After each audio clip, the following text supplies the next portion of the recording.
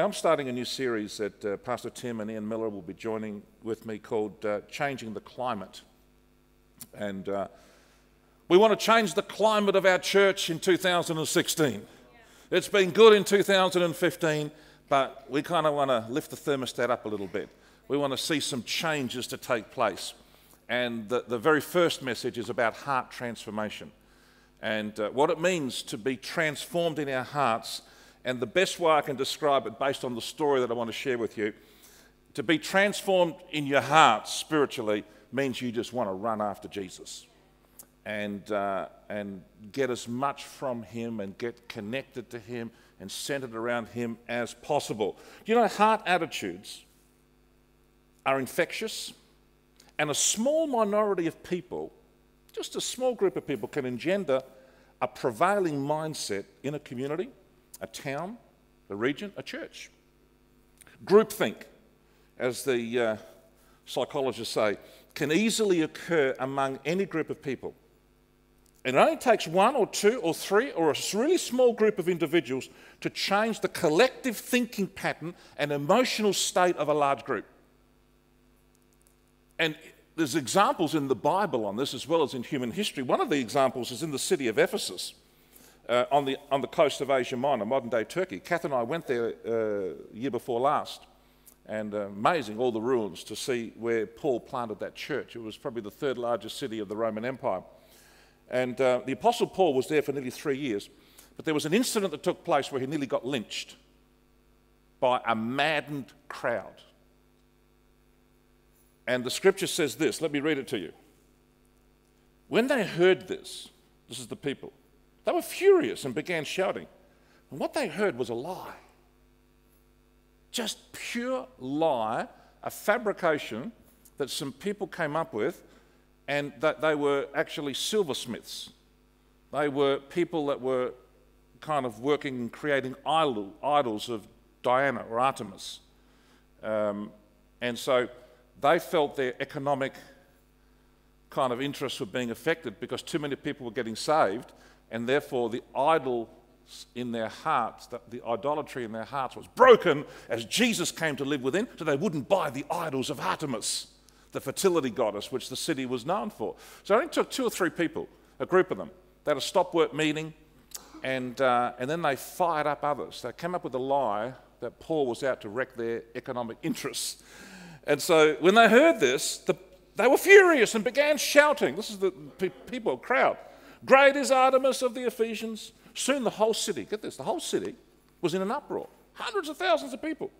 The people seized Gaius and Aristarchus, Paul's traveling companions from Macedonia, northern Greece, and all of them rushed into the theatre together. Kath and I have been in that theatre.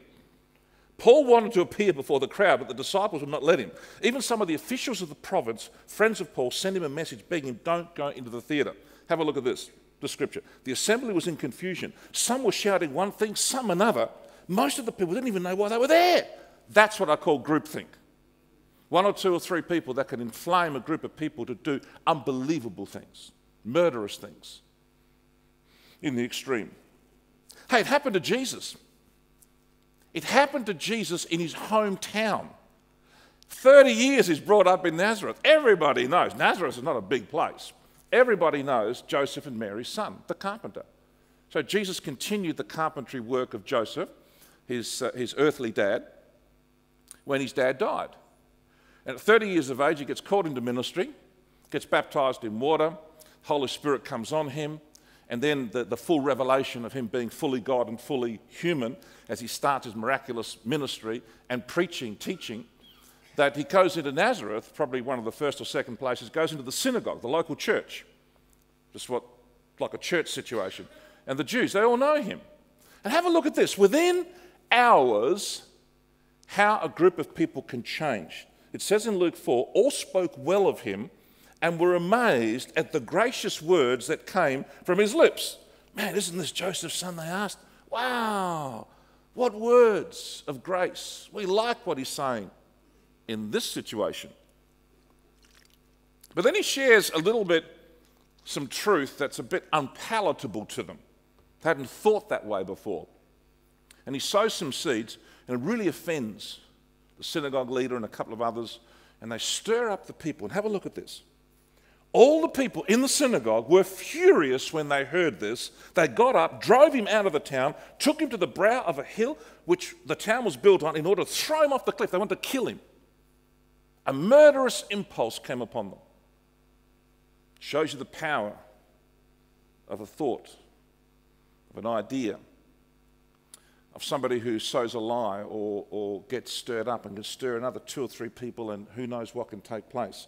The Gospel of Mark, as I was reading it a few years ago now, I mean, I read it all the time, but uh, it hit me as I was reading chapter 5 and 6 about two communities that had a heart transforming attitude. One was very positive, one was negative.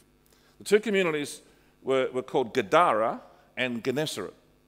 They were around the, the Lake of Galilee, which is not a big lake, so the distance is probably between the Adelaide foreshore, the beach suburbs, and say the hill suburbs. So the lake's not a big lake. And they're two communities in the same region. But man, their mindsets were so different. Um, and I'd like us to read about these two contrasting heart attitudes. The first one, the Gadara community. Let me give you the context. In Gadara, there was a man who was quite mad. In fact, mad and bad. And uh, we don't know what happened, but it seemed like some evil spirits, demonic powers from hell, had taken advantage of his natural weaknesses and he became energized supernaturally to do evil. And he terrorized the community. Nobody could hide it. They tried to chain him, he'd break the chains. He used to live in the tombs, like living at the West End Cemetery, West Terrace Cemetery, just living there. And, uh, and so, uh, just terrible situation. Anyway, Jesus comes to town, and the guy knew that only Jesus could heal him. And uh, local doctors couldn't, uh, his family couldn't, everyone rejected him. So he races to Jesus, and as he comes to Jesus, the demons in him, the evil spirits, start talking and you know, we're going to kill him, and, you know, what are you doing here, Jesus? And, and uh, you know, don't torment us because light and darkness, God appearing, this guy who's demonized gets, the demons start talking. Anyway, Jesus says, shut up, get out of him. That's what exorcism means. So when it says rebuke, it's a nice word that we use, but actually, Jesus, rebuke means shut up, stop talking, and get out of him. Where are we going to go? In go in the pigs. So he cast them out, and go, they go into the pigs, and the pigs go over the cliff because they didn't want to have the evil demons in them either. So the guy now is healed.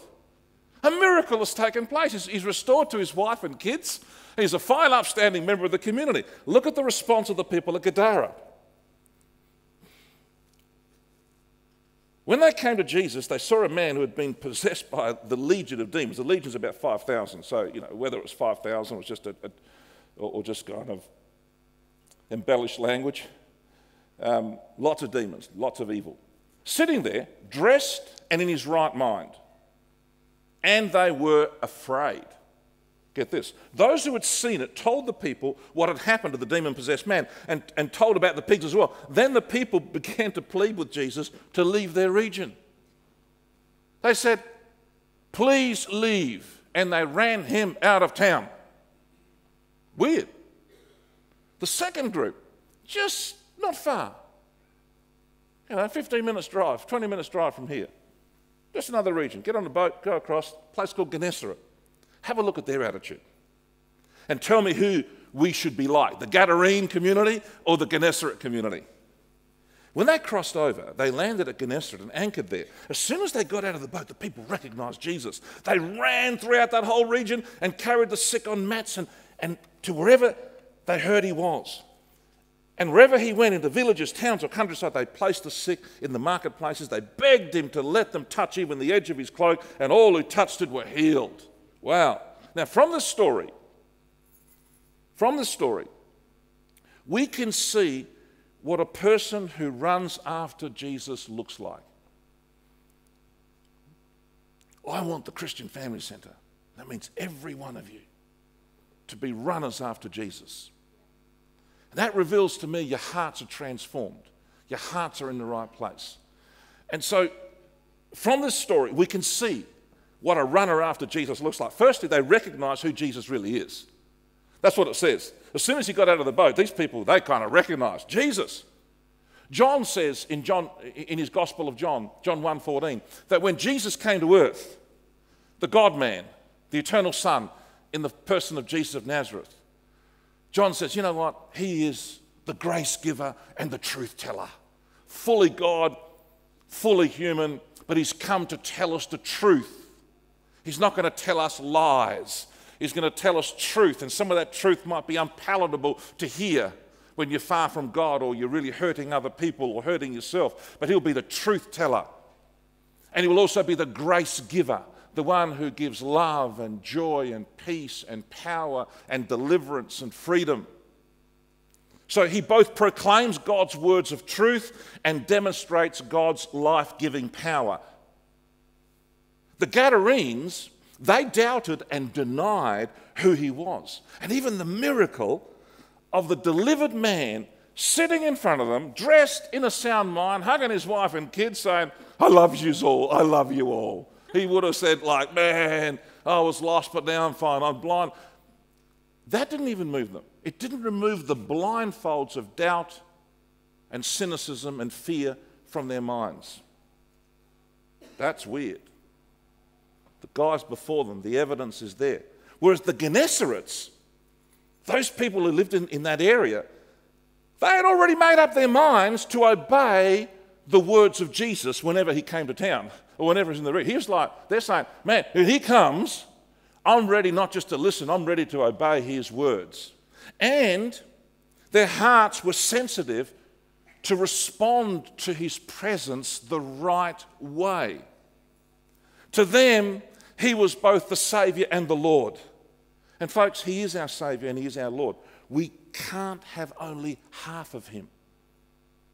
So oh, I want the Savior part. I want His powerful promises. I, I need His presence and power to heal my body, to heal my mind, to provide financially, to meet a material need, to sort out a relationship, to help me in my time of need. The Savior loves to do that. And He will do that for you even today. We've talked about intractable illnesses, incurable illnesses, terminal illnesses. We're believing God's gonna, can heal people and He can heal some of those folks. And we're, we're believing for that first healing clinic is that the presence and power of Christ is going to heal some amazing situations. We can't guarantee it. It's Jesus who does it, but we're going to give it a go to believe and pray. So we, we know that the Savior loves to save and heal and forgive and, and, and deliver people of evil spirits that might be driving them crazy. But He's also the Lord. He has authoritative commands that address how we are to live and how we are to behave. And some of those commands we don't like because they're in your face. Oh man, I don't mind you doing this stuff for me, Jesus, but if you're going to talk to me about how I'm living and how I handle my relationships and, and what I do at work and how I raise my kids, and nah, Saviour's okay, but not Lord. it doesn't work. He won't be your Savior long. You'll get the benefits, but you won't actually be thoroughly blessed with new life and new empowerment unless He's also the Lord and the Master of our lives. He's our King and our Master, not just our Saviour, Healer, Deliverer, Restorer, Empowerer. Church, do you recognize who He really is? Because for our hearts to be transformed, we've got to recognize who He really is and let Him be the Saviour and the Lord. That's what the Gennesaret people did, not the Gadarene people. Secondly, people with transformed hearts, like the Gennesarenes, wholeheartedly run after Jesus. It says that. They ran throughout that whole region, carried the sick on mats to wherever they heard he was. The Gadarenes ran Jesus out of town. They wanted him out of sight and out of mind. If I don't see him, I don't have to think about him. I don't have to reflect on his words and his ways. See, unbelief is not non belief. People think, oh, this person has unbelief, therefore they don't believe. No, no, they do believe. Unbelief is not non belief, it's wrong belief. The Gadarenes had wrong belief in spite of the evidence. Whereas the Gennesarets, even before they had any evidence, of his miraculous power, they had right belief. Both forms of belief lead to action right actions or wrong actions. And to run after Jesus, you know, I've kind of listed down here to run after Jesus, what does it really mean? What's the bottom line? You know what it means to me? And I want you to be runners after Jesus. I want you to recognize who he is. But to run after Jesus involves constantly talking to him. That's what prayer is. Just talk to him all the time. Any anxiety, any fear, any problem, any situation, just don't try and sort it out yourself first. Just talk to him. Say, Lord, I need you. And, and just be talking to him. Tell him you love him and appreciate him and thank him. And I just so enjoyed Laura being back from holidays and leading us in worship today. I felt like I was in heaven, didn't you? Transported. This is good. Have somebody anointed to lead us. And it's beautiful, isn't it, to, to worship Him and to sense His presence. And I'm talking to Him about a lot of things during that worship time. And I found Him talking back to me. Because when you worship, and you're opening your heart and you're talking to Him, He will talk to you. Particularly if you're reading the Bible. If you're reading a chapter a day, like following the Life Journal, He'll speak to you. So we talk to Him in prayer. He talks to us through His Word. He can talk to us through the Holy Spirit, but the main way He talks to us is through His written Word. Because sometimes we might, get, we might think He's saying something to us and it's too subjective. We've got to test it with God's Word. And because if He says something to you that goes against the book, no, nah, it's not God. It's just your own mind. But the book tells us, and that's how Jesus speaks to us. Constantly talking to Him in prayer. That's what it means running after Jesus. To run after Jesus involves allowing Him to talk to you through His Word. To run after Jesus involves really getting connected with fellow Christ followers in His church. Believing and belonging are linked together.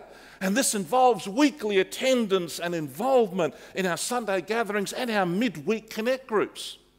I'm, I thank you that you're here today. I'll be even more thankful if you're here next week and the week after and the other week. And you might say, but I've got a broken leg. Who cares? Come along with your broken leg and let's see if Jesus will heal it. I'm sick. I shouldn't come. No, come, get healed. I'm a bit down and depressed. I'm having difficulty. Come. He will heal the brokenhearted. If you're sick, if you're needy, if you've sinned, oh, I've sinned, I can't go. Come. Jesus is here to forgive and to restore. This is the hospital for sinners. And Bill Vasilakis is the chief of sinners. No excuses every week at church. Can I hear an amen for that? Now, just take this message to all those who are not here today. Tell them, you got to hear this message. Because you guys, I'm sure, you, you are the regular ones, regularly attending. And look, you cannot grow. You cannot run after Jesus properly unless you're doing life together with another group of people, between five and say 15 people in a small group, a connect group. You need to meet with them weekly, twice, fortnightly, or even monthly. You need to have a group of people that you can pray with, talk with, share. Not a repeat of Sunday service, but connecting together more meaningfully, because this is a big crowd. And you can't meaningfully connect with people in a large service. You can have a meal and share, but on a regular, doing life together, praying, sharing, talking, ministering is, is so important. So to run after Jesus involves constantly talking to him, prayer, allowing him to talk to you, the word, really getting connected with fellow Christ followers in his church. It also involves using your personal prayer language to build your intimacy with Jesus and to release his power in and through you. The gift of speaking in tongues is our personal hotline to God. And maybe this year, if you haven't received that gift, you ought to seek God for it. You need it. I mean, yesterday was a busy day. We had a significant event in the morning at our home, wonderful breakfast, time with, with key leaders in the church. And then Kath and I are finishing kind of my preparation, and she's doing some typing for me. And then we race off to a wedding of a Greek family and, and it was the biggest Greek bash you've ever seen. I mean, it was big. And then the, the reception, I thought, oh, okay, we've got to leave at 9.30. I want to be home by 10. Then I'll be in bed by 10.30, get up at 6. Beautiful. Well, they wouldn't let me go. You cannot miss Zorba. You cannot miss the Greek dances. And, and, uh, and so, you know, 11 o'clock is there, and, and it's a wild show. It's a great Greek show. You know, my big fat Greek wedding style and there was a fantastic band, and even the guy with the bouzouki, you know that, he was really good. And I saw a 93 year old woman get up there and start doing the thing, and it just reminded me of my dad at 96. at Stephanie's wedding 12 years ago. He gets up, the old boy, he's 96, and he, and he thinks he's 36, and he starts going to do, and I race out, and I'm there behind him. Like this. And everyone thinks, what's the matter with you? So he's 96. If he falls over, he's gone. You know, breaks a. So as I'm there, I'm just thinking, oh, I'm thinking of Dad, and Kathy was thinking the same. So look, it was a great night, but I came home and I was exhausted. And then, of course, when you're exhausted and you're overtired, you don't sleep. Well, 1.30. so I get in the car this morning to drive here. I think, I don't even feel like going to church this morning. I need another two hours sleep. But I'm committed. I'm here. And I'm the preacher. Oh, what do I need? Hey. So, what do I need? I thank God for my personal hotline to heaven. I just start to use that gift of speaking in tongues. From the moment I left home, Tim was in front of me in the car. I made sure I stayed at 60, I didn't go too fast. Had a witness there. And I'm praying in the Spirit. By the time I got here, do I look tired? Do I look beaten up? No. I need the Holy Spirit. You need the Holy Spirit. There are situations that arise that are far more serious than what I'm half joking about now. But the use of this gift is absolutely essential. You need it. If you haven't received it, grab my little booklet in the foyer on the baptism in the Spirit, the gift of tongues, and use it and read it and study it. Get someone to pray with you. Pray on your own. The Lord will do it for you. And so you need that gift. And also to run after Jesus also means that you're a constant learner who just wants to keep growing in Christ and who desires to serve Jesus' purposes. That's what a disciple is, constantly learning. Constantly, you can't grow unless you're learning. A disciple means a matheti in the Greek. It means I'm a learner. And so, folks, that's how we run after Jesus. Will you run after Jesus this year? Some, Tim's advertised Bible Discovery with Pastor Adrian. Wouldn't it be great to have 50 people doing that course? You'd have to do it twice, Tuesday and Thursday night. That'd be something. Some of you need that. You need to, to understand how does the Old Testament fit together? How does the New Testament fit together? Some of you need to do new beginnings. Just four or five lessons about the basics of the Christian life. You haven't done that. You need to learn to understand what it means to be a Christian and to understand the Old and New Testament. There are other great spiritual books you can read. Go to Koorong, they're fantastic, amazing books. If you're uncertain about an author, ring one of the pastors here and they'll say, Yeah, that guy's okay. That one may be a bit dodgy, don't read that one, but this one's okay. Or read all my booklets, they're fantastic.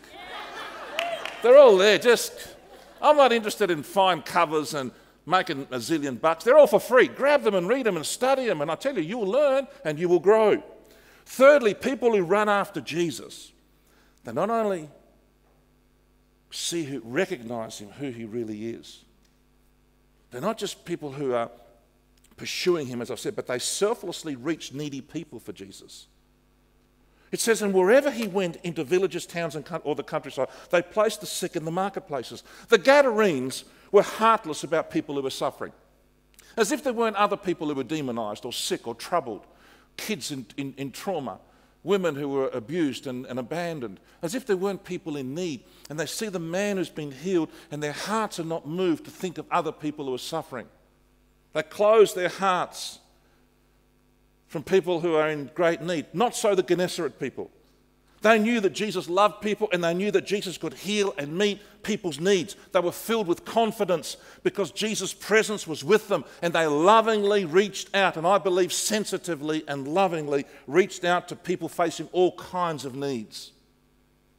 Let's be like these fabulous Gennesaret people. They were compassionate and concerned about others and not just be concerned about your own life situation. Be concerned about the needs of people all around you. Ask God to give you eyes to see and be filled with compassion. And be prepared to count the cost as you move out of your comfort zone in 2016 and offer to pray for people who are in need. Talk with them about Jesus. Anyone in need. If, if you are a sensible person, if you're a loving person, and you have some relationship with that person, in other words, you're not a nut you're not an abuser. You're, you're, you're a normal, sane, rational person like me. And most of you here, all of you here, they're not going to say no. If there are persons in need, you show love to them and you're genuinely, you're not there to rip them off. People can pick up a rip off merchant. You genuinely love them, say, Look, I would love to be able to pray with you. offer to pray, and Jesus could do some miracles. Or say, I'd love you to come and meet Jesus Christ. He's at church this Sunday. I dare you to say that. And they'll come along and say, Where is he? As I get up here, or Tim gets up here, or Cass will say, He's inside here. He's into you. He's among us. You've got to get out of your comfort zone to reach people and to be bold, be compassionate, count the cost, be courageous and bold, and step out in faith because Jesus' presence is with you. I was talking to Pastor Chris. Pastor Chris, come, come forward here. I just. He's one of our lay pastors, and I mean, he runs a business, but he's, he's, he's a, he's, a, fully, he's a credentialed minister, a marriage celebrant, and we have stacks of them in, in the church here. The church couldn't function without them. But Chris runs a business, and he was telling me the other day that since November, in his shop at Mitcham, 16 people you've led to Christ? Are you making any money? Are you selling anything there, Chris? Or are you, are you an evangelist there? You're doing well financially, but you're, le- you're leading people to Christ. So uh, Chris is an evangelist. We know he's got a, a gift of an evangelism. But I tell you what, Paul says to Timothy, you can do the work of an evangelist. We all can do and learn. Chris, just share with us what's taking place there. I know you're a man of compassion but you count the cost and you're very courageous. How do you do it there? And, and like you're there to, to, to, make a living and you're leading people to Christ. How's it, how does it happen? What happens in you to, to, to draw these people or they just come to you? Give us a story. Uh, it's an amazing. Uh, just hold it close, Chris. It's an amazing story, of course. It's not about me. Uh, I've got my flaws, I've got my sins. I'm a normal person, I'm flesh and blood. But one thing I know, and he says it in Mark 12, 28 to 30, he says, Love your Lord your God with all your heart, with all your soul, with all your mind, and with all your strength. And that's the first commandment. And when I came 33 years ago to the Lord Jesus Christ, I, kind, I found out the life. I found what life is all about. And when Jesus touched my heart, all those attributes that were there, they came and connected with my heart. See, to love God, you, need, you require to spend time with Him. It's like a relationship, it's like a friendship. If you don't have the relationship with Jesus, you've got to lay the foundation. You've got to talk to Jesus like he's a friend.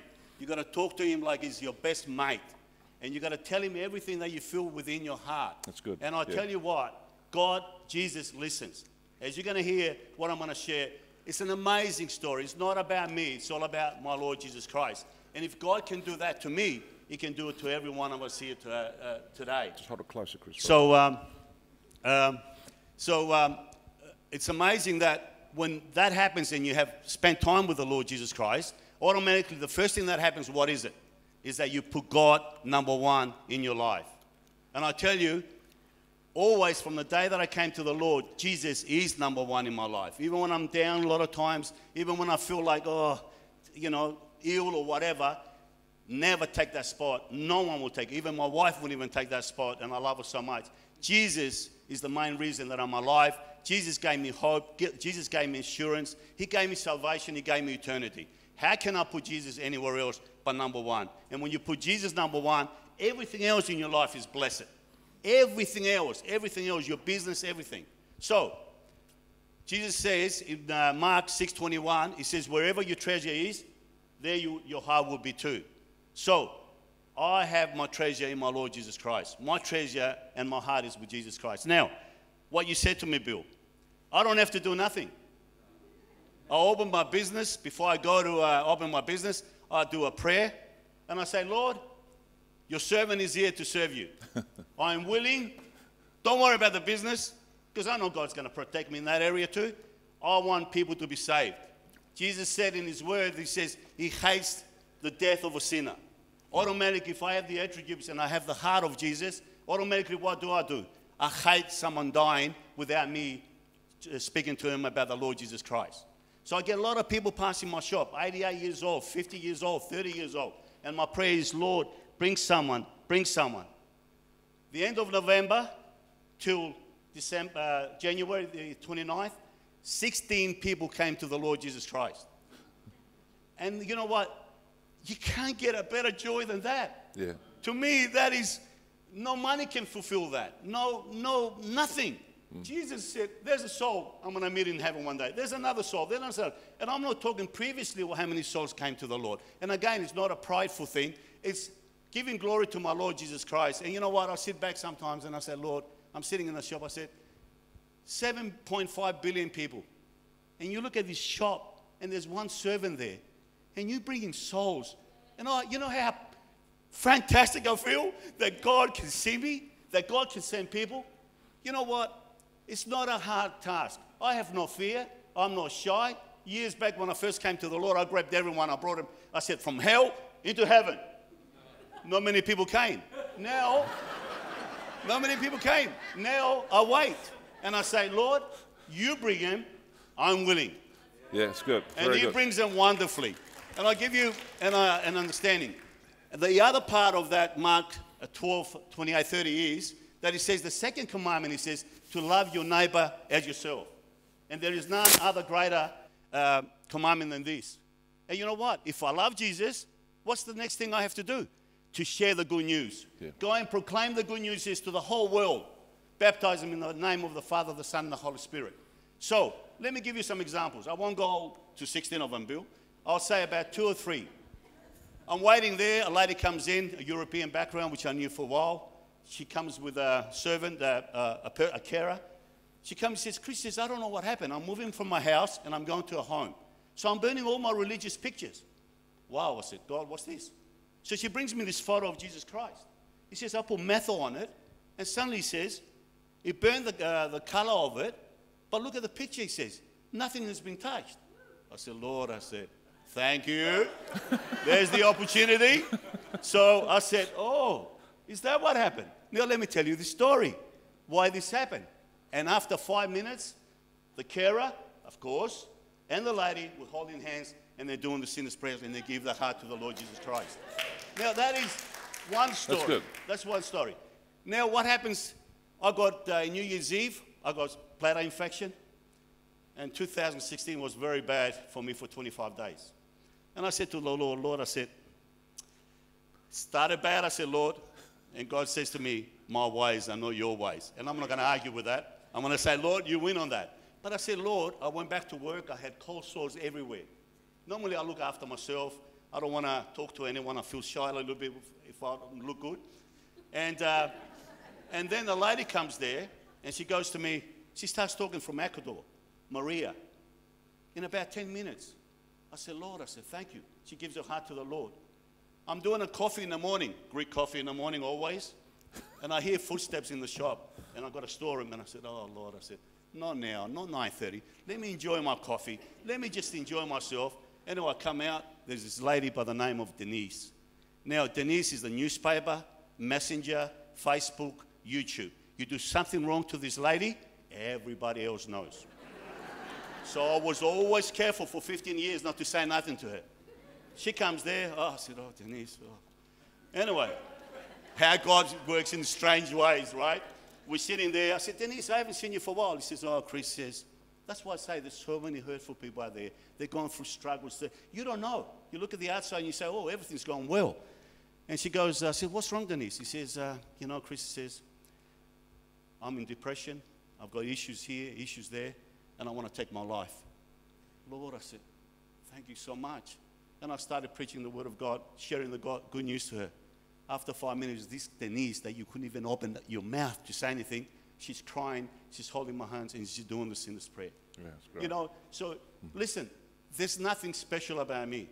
The only special about me is I love my Lord Jesus Christ and I have a willing heart to serve Him. Don't look at yourself and say, I'm not good enough. I'm not going to be like Christian. Of course, you're not going to be like me. I'm Greek. I'm a different person. But you got your own personality. You got your own, your own attributes. You can do what God already good. has planned to you. But Yeah. God says, step out. Yeah. Step out. Yeah. Step out from your faith. Step in your faith. Okay. And I tell you, there's a lot of souls to be saved. Yeah. There's a lot of souls to be saved. So I'm, I'm encouraging you. Don't take a step backward, but take a step forward Yeah. and see what God can do in your Wonderful. life. He's a true. Gennesaret man, isn't he? Yeah. Um, folks, just a little bit of compassion. Prepare to count the cost and be courageous and boldly step out. Some of you are saying, Chris, pray for me. You may not, you're not him, but God's speaking to you that you can do it at school, you can do it at university, you can do it in your neighborhood. As we come to a conclusion in a few moments, if you want prayer, over here, we're going to have Chris and others pray for you just for impartation. And uh, you may not be an evangelist, a gift of an evangelist, but you can all do the work of evangelism. 2016, heart transformation has to do with recognizing who Jesus is, wholeheartedly running after him, selflessly reaching needy people for Jesus. And you know, the final thing with these Gennesaret people is they expected to receive miracles from Jesus. And um, uh, it says that. It says they begged him to let them touch even the edge of his cloak, and all who touched him were healed. The Gadarenes stepped back in fear and unbelief, whereas the Gennesaret people stepped forward with expectant faith. One group closed their hearts, whereas the others opened their hearts wide. And, and you can feel the Gennesaret people, their strong desire and their persistence. They just anticipated supernatural results. They begged him, it says. What an example for us to beg him, to reach out to him, lay hands on people. I was noticing Steve in Alice Springs before the service started. This is Rebecca's father in law. Beautiful indigenous people and white. As, as anyone that's sick, he's talking to them, and you just see him. Before the first song, just laying hands, just gently praying for them. You can do that wherever you are. People who are needy, because that's the hand of Jesus anointing with oil. We do this and we can anoint you with oil this morning. It's a symbol of the Holy Spirit. It's releasing your faith in a point of contact, the biblical point of contact, which is okay, the oil speaks of the Holy Spirit, hands speak of the hand of Jesus. Step out. Be prayed for. Say, I would like to lead someone to Christ this year. You could. God could use you. I'd like to pray for you that God could use you to speak to one person to lead them to Jesus Christ. Yes, you. But you, got, you have to You'll challenge you to get out of your comfort zone. You have to count the cost. And, uh, and I tell you, if you're a loving person, you've got relationship with people, most people will let you pray for them. In fact, most people don't come to church because someone doesn't ask them. You just may be surprised and say, if you ask somebody, they might just say yes, particularly if they know you, you're a credible person. And so, step out and uh, ask for prayer, believing as you act and give thanks to God with the expectation that Jesus can touch you. You might need healing today. Don't just wait for the healing clinic. You might need healing. Jesus does the healing. He can heal you where you're seated. You can come out the front. We can pray for you. The prayer of faith looks like this it looks like where a person is praying and talking to God and expecting Him to answer and anticipating results and thanking Him in advance for the answers even before they see it. That's the Gennesaret people. They just went out and got people with the expectation that Jesus would do something. The Gadarene people had the guy who was miraculously healed and they just closed off and said, nah, no more. We want to be Gennesaret people hearts that are transformed. Hey, and let's infect one another with this kind of attitude. Let's have some good positive groupthink on this one, hey? And, and, and to be stirred in, in, in having our hearts transform and change the climate of our hearts, and will change the climate of our church, and will change the climate of our community. Can you say amen?